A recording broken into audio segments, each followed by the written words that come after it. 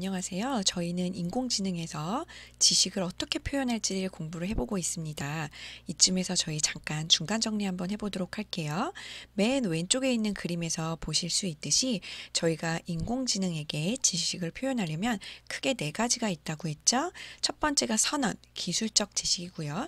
두 번째가 절차적, 그 다음에 신체지, 상식 이렇게 된다고 했고 위쪽으로 갈수록 말로 풀어내기 쉽다라고 얘기를 했습니다. 선언적 지식에서 저희가 첫 번째 중간고사 전까지 해서 배운 것은 의미망, syntac, semantic 네트워크였고 개념과 개념 간의 관계를 네트워크 다이어그램으로 나타낸 것이었습니다. 두 번째는 지난 영상에서 배웠었던 명제 논리인데요. 각각의 명제를 독립적으로 참 거짓으로 표현을 했을 때 그런 명제들 간의 조합이 결국에 어떤 결과를 갖게 되느냐 그것을 살펴보는 데 있어서 크게 오른쪽에 있는 두 번째 말풍선처럼 부정, 연언, 선언, 함의, 동치 이렇게 다섯 가지 볼 수가 있었습니다. 그래서 각각을 표현할 때 한국말로 표현하거나 and 혹은 or라고 하는 영어로 표현할 수도 있고 순수 우리말인 논리곱, 논리합 이런 표현도 있었고요. 또한 무엇보다 이런 식으로 기호로 어떻게 표현할 수 있는지를 기억을 해야 된다라고 얘기를 했습니다. 특히 연언이나 선언은 어느 정도 한국말을 이해했을 때 이해가 되지만 함의 같은 경우는 요 기호 자체를 쉽게 말하면 수학적으로도 풀 수 있을 수준이 되고 또 한국말도 쉽게 표현하기 위해서 함의 자체는 첫 번째 명제를 부정을 하고 첫 번째 명제와 두 번째 명제를 선언 또는 관계로 표현을 해서 문제를 쉽게 풀 수 있다. 이렇게 설명을 해 드렸습니다. 그렇다면 이번 시간에는 저희가 앞서 배웠었던 그런 명제 논리를 계속 이어나가되 연언이나 선언으로 조합된 명제를 기존의 드모르간 법칙이라던가 분배 법칙이라고 하는 개념을 이용해 가지고 문제를 좀 더 효율적으로 풀고 기호도 효율적으로 표현하는 방법을 추가적으로 살펴보도록 하겠습니다. 모두 아시겠지만 드모르간의 법칙은 어, 각각이 존재를 할 때 저희가 요 부정이라고 하는 거를 각각의 명제와 기호에 다 반영하는 걸 의미를 하는 거죠. 그래서 지금 괄호가 있는데 괄호 안에 두 개의 명제와 그 두 개의 명제 안의 관계가 연원 관계일 때 요것에 대한 드모르간의 법칙의 결과는 P와 Q라고 하는 각각의 명제를 부정을 하고 그리고 연언을 선언으로 바꾸는 거겠죠. 마찬가지로 만약에 두 명제 사이에 선언이 있었다. 라고 하면 그것을 연언으로 바꾸는 이런 형태가 드모르간의 법칙이 되겠습니다. 드모르간의 법칙은 기본적으로 왜 필요할까요? 드모르간의 법칙을 적용하기 전에는 문제를 전혀 풀 수가 없고 그 다음에 어, 현실성이 떨어지는데 드모르간의 법칙을 이용해서 그 반대 경우로 문제를 표, 표현을 해가지고 실질적으로 그림을 그려본다던가 어떤 서킷을 디자인한다던가 어떤 확률 문제를 푼다던가 아니 아니면 어, 저희처럼 어떤 명제에 대해서 문제를 풀 때 드모르간의 법칙을 이용해서 표현을 바꿔보면 의외로 문제가 직관적으로 빨리 풀리는 경우가 있습니다. 그래서 항상 단순히 제가 알려드리는 지식을 따라오는 게 아니고 이 개념이 연구자들에 의해서 이 시어렘이 왜 등장했을까 그 동기가 뭘까를 자꾸 생각을 해보신다면 향후 어떤 어드밴스, 어드밴스드된 문제를 푸실 때나 아니면 이 등장 배경을 알기 때문에 이해가 훨씬 쉬워지는 걸 느낄 수 있을 것입니다. 그래서 연언이나 선언으로 조합된 명제를 좀 더 현실성 있게 바꿨을 때 주로 사용되는 게 첫 번째 드모르간의 법칙이고요. 두 번째는 분배 법칙입니다. 분배 법칙은 저희가 분배라는 용어에서도 알 수 있겠지만 P라고 하는 명제를 괄호 안에 묶여 있는 Q와 R의 한 번, 두 번 이렇게 따로 분배를 해서 고려해 보는 개념이 되겠습니다. 그래서 각각의 명제들이 선언 관계든 연언 관계든 상관없이 동등하게 주어진 문제에서 규칙을 활용해서 분배 법칙을 적용을 해볼 수가 있겠습니다. 그래서 드모르간의 법칙을 한번 진리표 테이블을 이용해서 한번 살펴보면은요. PQ가 참, 참, 참 거짓 거짓 참 거짓 거짓이라고 했을 때 앞서 설명드린 것처럼 P와 Q의 연원 관계는 이런 식으로 표현할 수 있다라고 얘기를 했죠. 그런데 그거를 만약에 드모르간의 법칙을 하게 되면 앞서 설명드린 것처럼 궁극적으로 얘의 부정을 하는 거기 때문에 각각의 명제에 부정을 하고 선언이 아, 연언이 선언으로 바뀐다고 얘기를 했어요. 그러면 요거는 어떻게 구할 수가 있을까요? 그쵸? 요거는 따로따로 구한 거에서 한 번이라도 참이 있으면 어, 5월 관계가 만족이 되면 요 결과가 나오겠죠. 그래서 요 결과는 결국에 이 결과랑 동일하다는 걸 볼 수가 있겠습니다. 그래서 드모르간의 법칙이 수학뿐만 아니라 음, 다양한 인문 계열이라던가 아니면 컴퓨터 사이언스에서 뭐 어, layer에 상관없이 어떤 서킷 디자인이며 어떤 그 MAC layer에서의 무슨 통신이든 application layer에서든 다 활용될 수 있고 저희도 역시 인공지능이라고 하는 개념에서 어, 인공지능에게 지식을 표현할 때도 이런 명제 논리의 드모르간이 안의 법칙이 활용될 수 있구나. 요거를 기억을 해 주시면 될 것 같습니다. 자, 그래서 드모르간의 법칙을 저희가 앞서 설명드린 것처럼 두 개의 명제가 처음에 연원 관계일 때도 어, 활용이 될 수가 있고 이렇게 선언 관계일 때도 활용이 될 수 있다. 결과가 어, 일맥상통하다 이렇게 알고 계시면 될 것 같아요. 그래서 저희가 중간고사 이미 봐보셨지만 어, 일단 기말고사를 좀 빨리 얘기하는 것도 이른감이 있지만 미리미리 유형이라던가 난이도를 조금 얘기를 해드려야 변별력이라던가 혹은 어, 준비하고 싶으신 분들은 좀 더 그 방법론에 초점을 맞춰서 준비를 하실 수 있을 것 같아서요.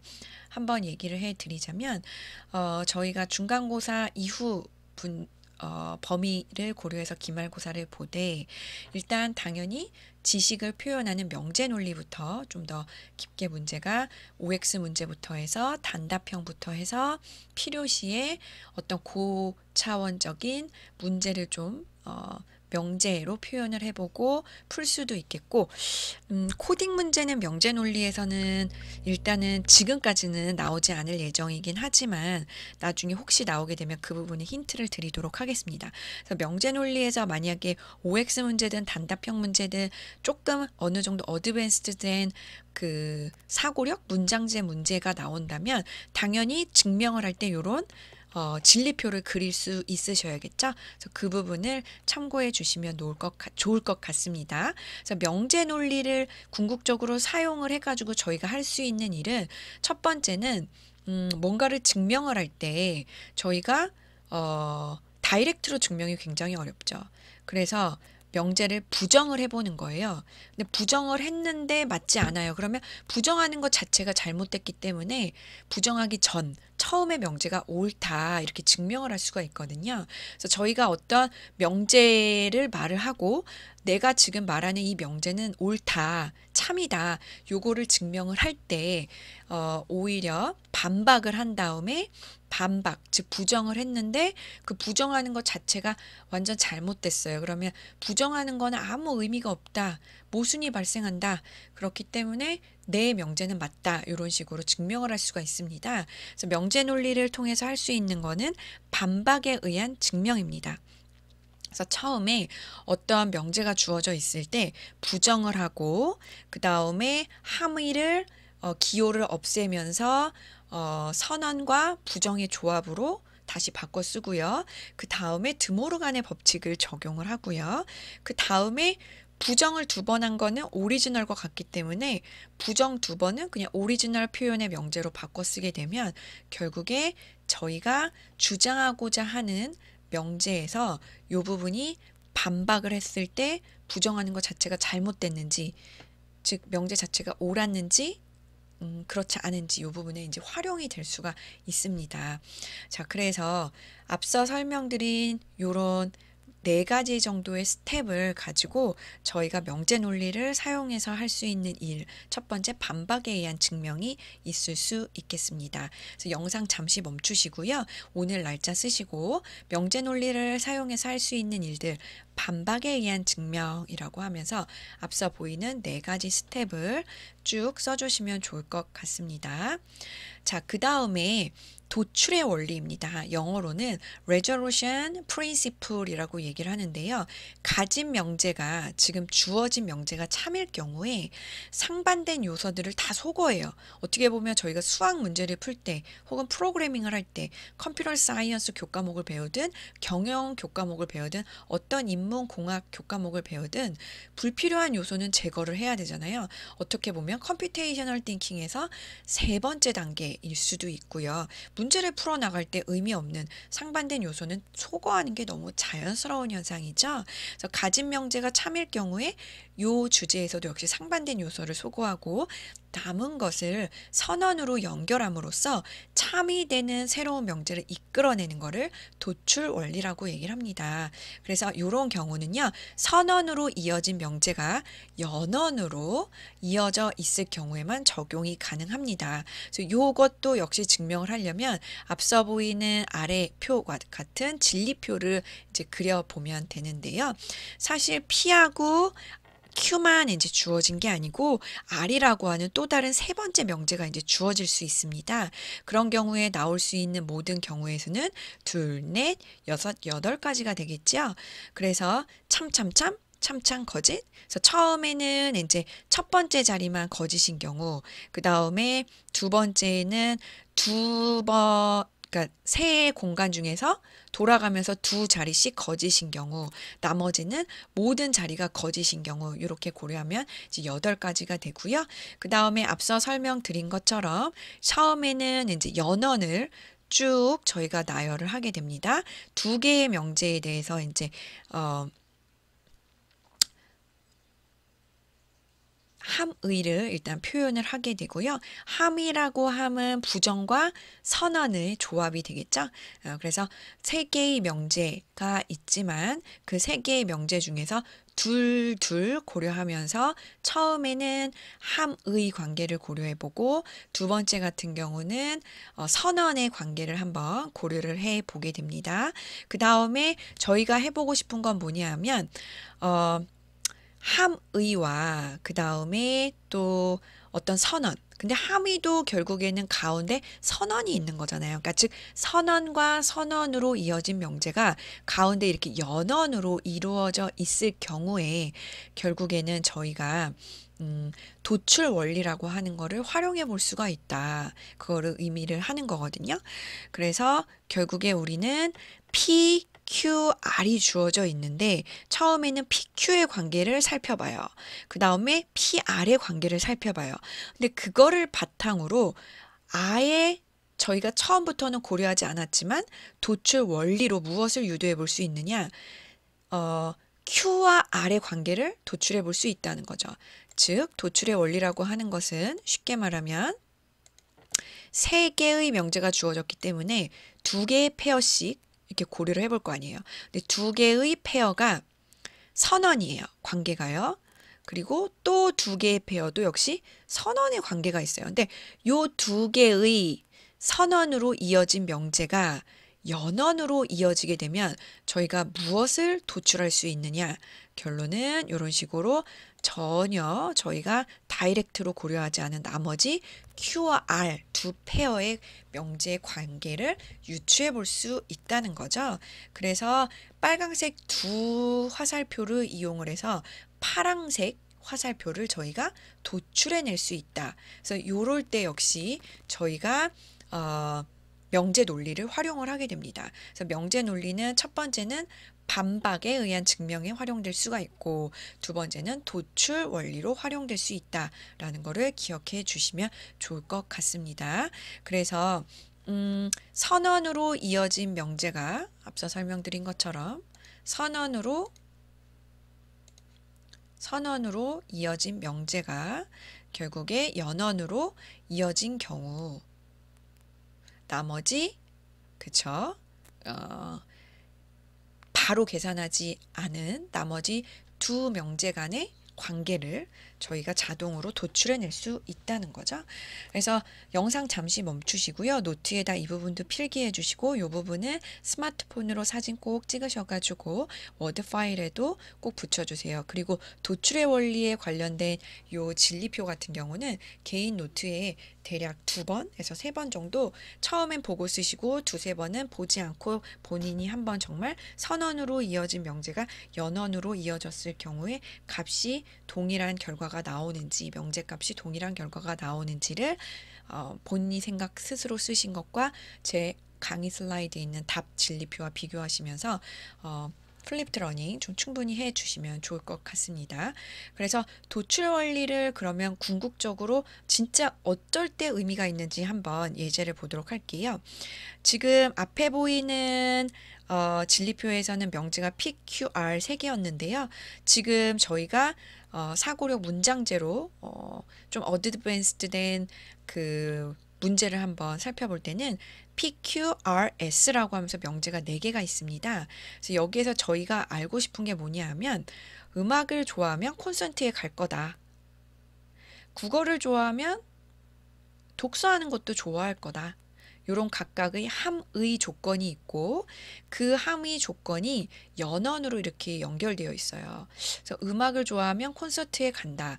그리고 국어를 좋아하고 독서를 좋아한다. 그죠? 그리고 음악을 좋아하고 국어를 좋아한다 라면 자 보세요. 지금 여기에서 저희가 처음에 고려하는 거는 빨강색 선으로 음악을 좋아하고 좋아하면 콘서트에 간다. 만일이죠. 만일 좋아하면 콘서트에 간다. 국어를 좋아하면 독서도 좋아할 거다. 그죠? 그리고 또 저희가 추가적으로 지금 네 개 명제가 주어졌을 때는 어, 음악을 좋아하고 국어도 좋아한다. 이렇게 명제를 봤어요. 자, 그렇다면 여기에서 유추할 수 있는 건 뭐냐 하면 콘서트에 가고 독서를 좋아한다. 과연 이게 맞을까요? 여기에서는 이제 요게 파랑색이 되겠죠? 그래서 여기서는 요게 이제 콘서트에 가고 국어를 좋아한다. 아, 자, 과연 요게 맞을까? 그죠? 세 개의 앞서 보이는 것처럼 세 개의 어, 빨강색 화살표, 즉 두 명제 간의 페어 관계를 통해서 이 명제들은 어떤 관계로 연결이 돼 있어야지 사실 도출의 원리를 사용할 수 있다고 그랬어요. 선언이죠. 그렇기 때문에 저희가 바꿔야 되는 거예요. 함의 기호를 바꿔 쓰고 다른 함의 기호를 또 바꿔 쓰고 역시 드모르간의 법칙을 적용하고 필요 없는 괄호를 제거를 해요. 그러면 지금 빨강색 세개 화살표를 바탕으로 궁극적으로 이런 식으로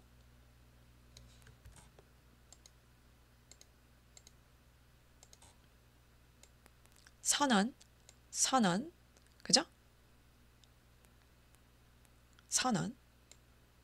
선언으로 각각의 페어가 혹은 단일 명제가 존재를 하고 그 각각의 페어 명제들은 어떤 관계로 연결이 돼야 돼요? 연언이죠.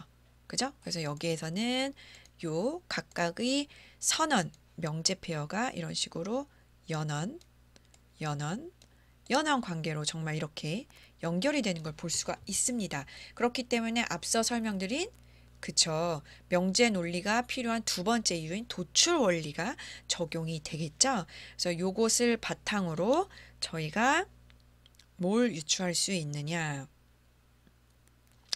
원래 명제가 주어져 있잖아요.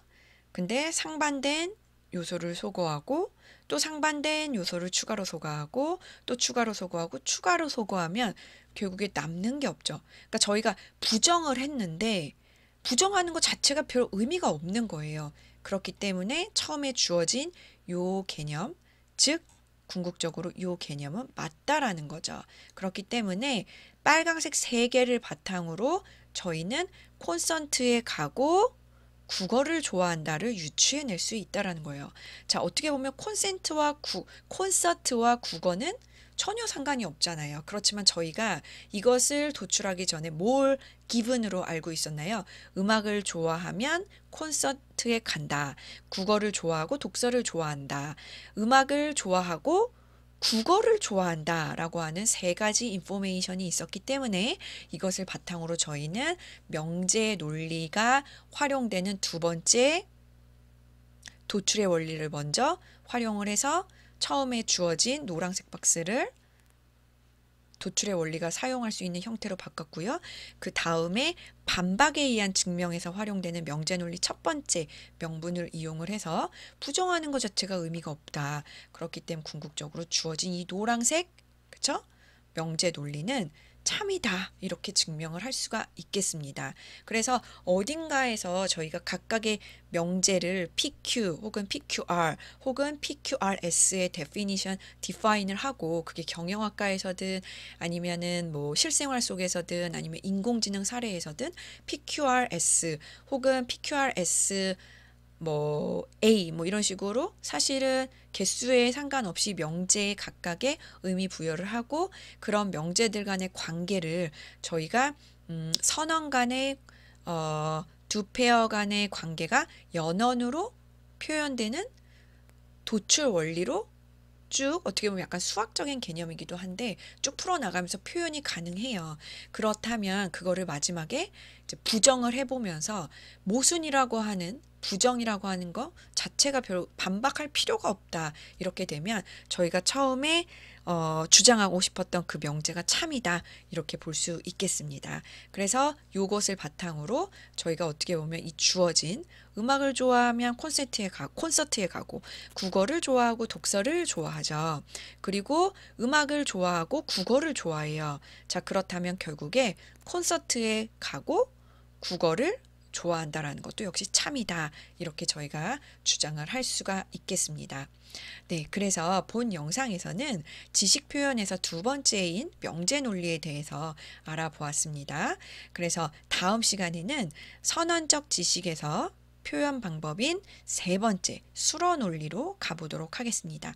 네, 고생 많으셨습니다. flipped learning 충분히 해주시면 감사하겠습니다.